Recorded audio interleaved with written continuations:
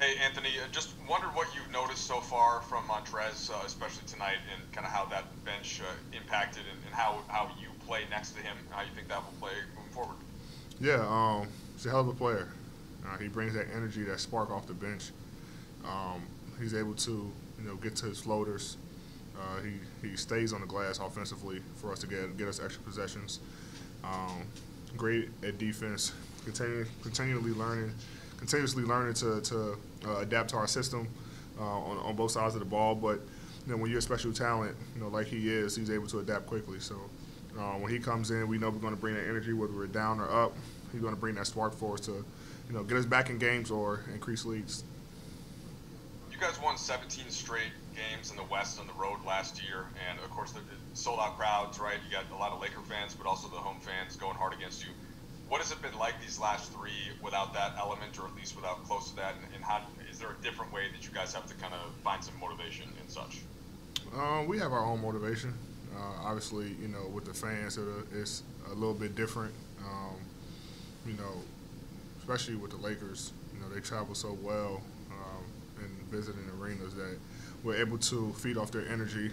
Um, but like I say, we have guys like, you know, Trez West, you know, even in our starting unit, uh, we got to we bring our own energy.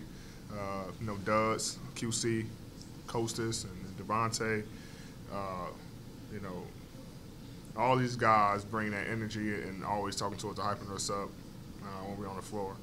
Um, you know, those guys might not play a lot, um, but you know, you know, they find ways to, to help us win. You know, especially tonight. You know, they were able to, you know, stay in our ear, um, just tell us keep playing. A lot of shots wasn't falling for a couple guys, especially early. Um, and they, and they were those the guys those the guys who was able to you know tell us keep going, bringing that energy, clapping for us and things like that, like that, telling us we'll be all right. So, um, know, we definitely have to find our own energy, but I think we did a good job uh, uh, finding that energy while we were on the road.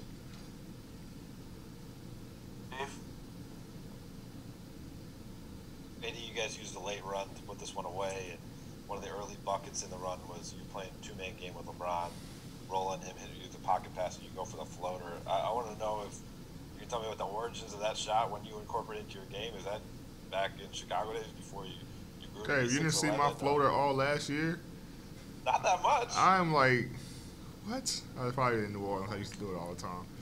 Um, but yeah, I mean, me and Trey just had an argument about who has the best floater as a big. You know, I, I my floaters, I'll bring it out more for you guys now, but are you serious? Did you guys hear that? Oh, the, they heard? Are you stupid? I have It all the time. well, I, I, maybe not. No. Maybe not in a, a six-point game with three minutes. no, yes, yeah. So, um, I mean, Bron does a great job of getting downhill and putting pressure on the big and, and reading that and reading, reading that play, um, reading the defender. So, uh, you know, he either finished the, the layup or or his, you know, I don't know if he have a good floater or not, but his little midi jump shot, and then you know, or hit the pocket pass to me, or skip it weak side for a three. So um, we just try to, you know, figure out ways to exploit the defense and all their schemes, especially, you know, with their bigs playing back uh, tonight. Um, but you know, I've, I've always kind of had the floater, uh, and it really just came from when I was uh, my early years uh, in the league you know, I wasn't the strongest guy in the world, so you know, um, I kind of hated just going to the paint and just, you know, when you're a rookie, second year, you don't really get many foul calls. So I just kind of developed that floater to, you know, stop from going into, you know, the lane and getting fouled. Kyle.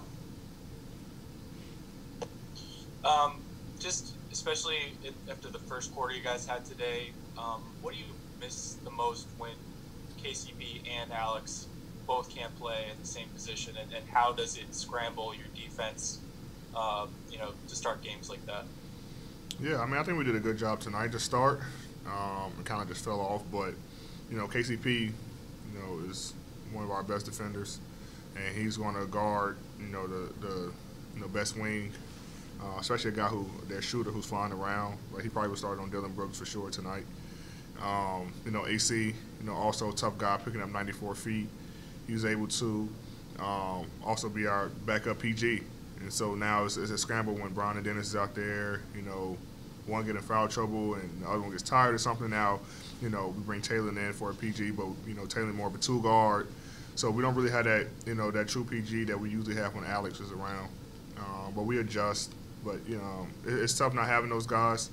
You know, they're a big part of our, our team and our offense, and when we're able to, when we're able to have those guys on the floor, we're able to have those guys on the floor. Um, they just bring a different dynamic for our team.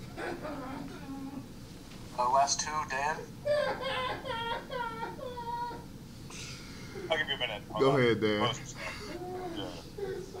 Um, Send it with, to with the with the compressed off season, uh, with the compressed off season and, and kind of the nature of this season, um, with no fans and stuff like that, how much are you going to have to monitor? Sort of, you, you mentioned energy a couple times. How much do you guys have to monitor being able to create that? And I'm curious, kind of, what are some of the things that happen on the court, like in a, a game like this, that that kind of do inject the game with energy when it seems like it needs to? Um, I think for us, we we we kind of feed off ourselves, and and um, a lot of times we feed off the crowd, but we got used to feeding off ourselves.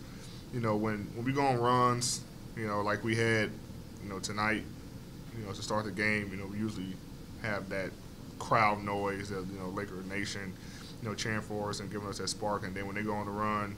Um, you know, we combat that run. We, like I said, we had that noise, but now it's it's, it's ourselves. You know, um, you know, coach put a lot of emphasis on our bench to, to continuously to talk, um, and it started in the bubble, um, knowing that we weren't going to have any fans. You know, we needed our bench to kind of be that, that fan base for us, um, and we've done a good job of, of doing so. But uh, it is different not having the fans there, especially especially when we go on runs. You know, you're down, we're down 12, and you know, coming back on that run, you know, even though we were able to complete it and, and finish the game and get the win, um, you know, when you're in the playoffs or playing a, you know, you know, a, another team, you might, you might need those fans, um, especially when we're at home. So, uh, we got to find ways to just continue to bring our own energy, you know, bring that noise, bring that positive energy to our group, um, and I think we can get a job done. Last one, Jovan. Hey, Eddie. Um, this season, you're averaging a career high in assists, um, and, and I'm curious, was that a point of emphasis for you in the shortened off season, or is that because you guys have more offensive weapons this season, or, or what would you attribute that to? I'm just trying to add more to the game, to my game. Uh, I know a lot of teams try to double, um, just to make me get a different look uh, and not score. So the best way to beat a double team, you know, is, is to find an open guy, and our guys are making shots. Um, you know, I just got to do my job and draw a double. Once I do that, find the right guy, whether it's in front of me, you know, weak side corner, the big double down in the middle, or whatever it is. I got to make the read, and um, that's how you make your team better.